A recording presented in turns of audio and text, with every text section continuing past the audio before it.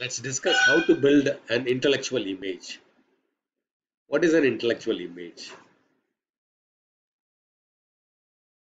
Any common man looks at the other person, always he or she will judge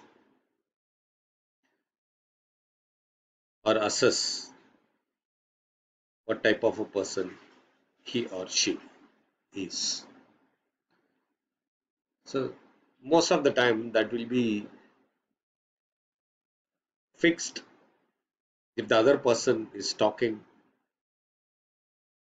loudly, boldly on any matter, in any conversation, if he or she quotes some statistics, some scientific evidences, some authenticated information, if they start conversing with others, immediately they'll say he or she knows everything, or they read a lot, or they know something better than the other people.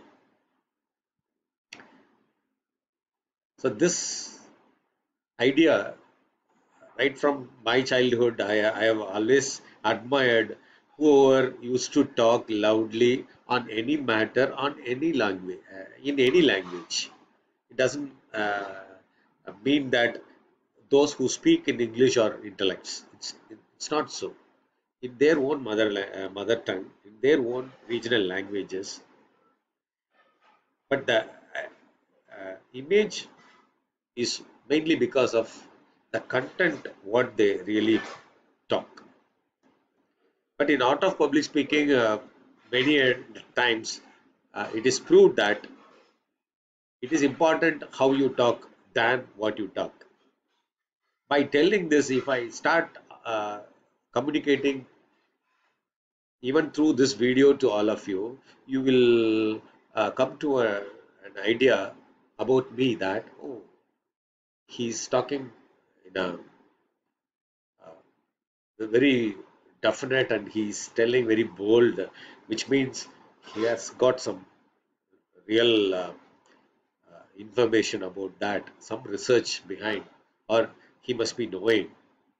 To tell you a secret, after becoming a teacher, if I go and say anything to a student, whatever be the question, if I say I don't know, the, teach, uh, the student will not believe. Sir, you must be knowing. Only thing you want us to learn by ourselves so you are telling that you don't know so this was the image uh, on teachers. I have experienced right from my first year of teaching.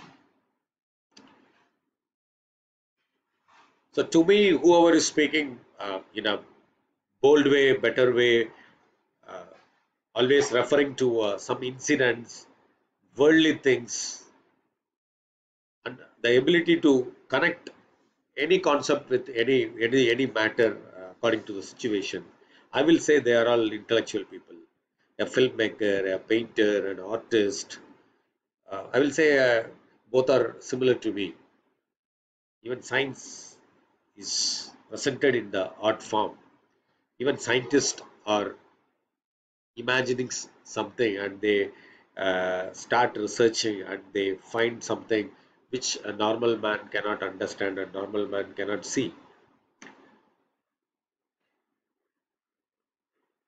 So one, one occasion I told this.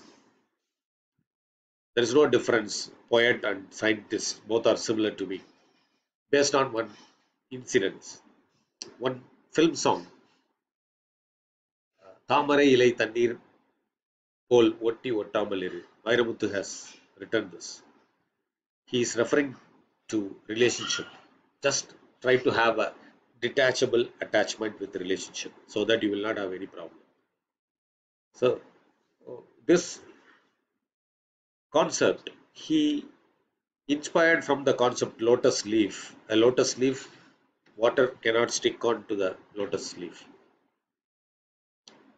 besides scientists most many scientists are working on lotus leaf effect, hydrophobic effect. Water does not stick onto the surface of any object. A non-sticky tawa is made out of this.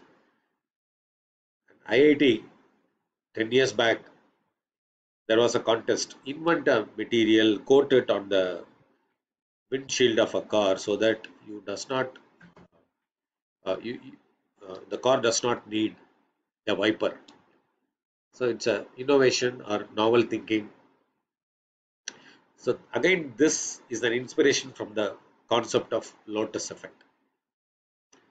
So there are two creations for the same phenomenon. One becomes a poet. He refers to a relationship and he writes it as a poem for a movie.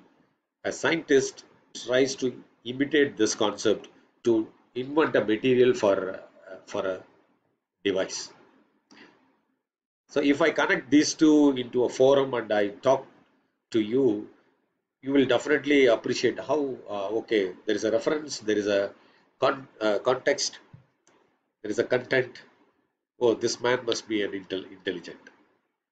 So that's it. I want to say how to build an intellectual image.